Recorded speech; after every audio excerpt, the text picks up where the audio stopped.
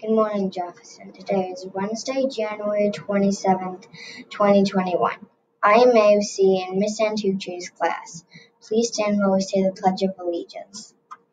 I pledge of allegiance to the flag of the United States of America and to the republic for which it stands, one nation, under God, indivisible, with liberty and justice for all. Happy birthday to Murphy F. and Miss Scusarella's class. There are no announcements today. It is Wordy Wednesday. The word of the day is miraculous. Miraculous is an adjective or describing word. It means that something is truly wonderful. Miraculous comes from a word or a miracle. Be positive today.